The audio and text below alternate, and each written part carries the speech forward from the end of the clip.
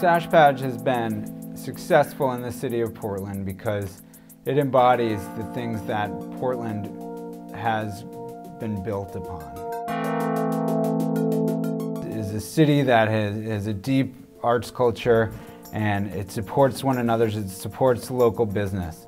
So people say it's not necessarily about the points you make, it's how you make them. Uh, and I think the same is, is true of the Stache Pag. It's not really about the stash, it's about the, the persona and how you tie it all together into a, it's kind of a classy way of putting it, but, but a, a compelling package. One by one, each contestant comes out onto the stage for about 30 seconds of fame and shows what they can do with their mustache. The crowd is the one who determines the winner. These are men who, have, who are dedicated to their mustache, at least for the month of March.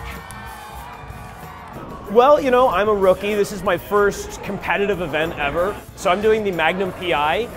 Haven't really refined it from there. I'll be spending some time at costume shops. Like, you know, most sports people say, I'm just gonna get out there, gonna, you know, give it my all. I'm just gonna represent my mustache, gonna strut my stuff. It's really just, I wanna connect with my mustache brethren and sisters. Give it up for the Stash Bomb! Um, I would say that the uh, biggest draw is uh, self-expression. It's kind of an opportunity to step out, you know, step out on the town and look your best.